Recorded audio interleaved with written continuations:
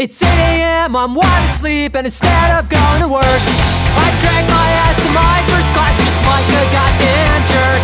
Meanwhile at the office, I'm not there on my room. Hey, wait, I'm late, I'm late again. I shouldn't have done those fucking mushrooms.